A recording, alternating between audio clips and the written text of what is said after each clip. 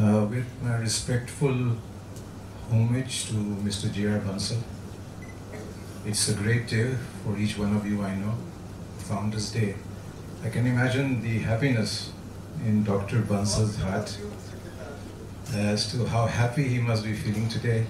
And my distinguished colleagues on the dais, Hemant, Bagla Saab, Mr. Nair, Sir, I'll just call you the JICA country head.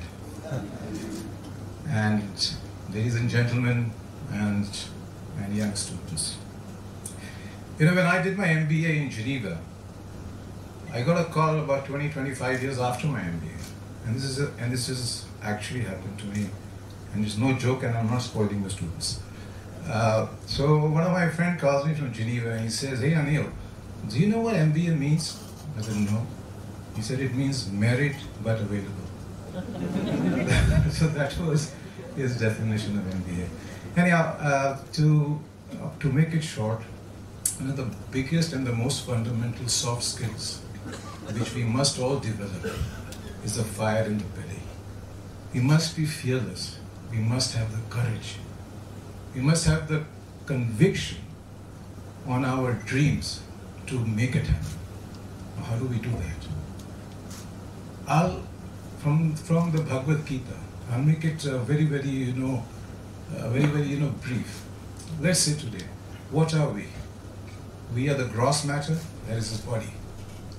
And we are two subtle matters, that is the mind and the intellect. And what is it that energizes all three? That is the soul. Today, you tell me, you're management students, is there any movement of any object in this world without energy? No. So, what we hear in spirituality, our soul, that is the energy which makes the mind, the body, and the intellect work.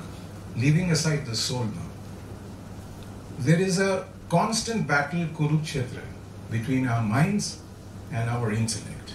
For example, I have diabetes. Apple pie with ice cream is my favorite dessert. I go to Mr. Bagla's house, he's invited me for dinner. And make sure you do it, sir.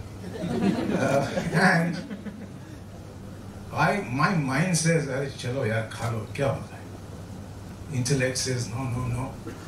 You got diabetes, doctor says no. But 99.9%, I will not listen to my intellect, I will listen to my mind. And that is where we go wrong. A human being who can keep his mind under the control of his intellect, that human being is a gravitated human being, a balanced human being, a courageous and a fearless human being. So we must develop our intellect. And what is intellect? It is nothing but your inner voice. अपने कितनी बार कहते हैं मेरी मेरी मेरी आत्मा ये कहती है और my inner voice says that listen to it because the inner voice is the creator speaking within us and that is what we must follow and we must develop our intellect. And i assure you that if you can work just on this you will be successful in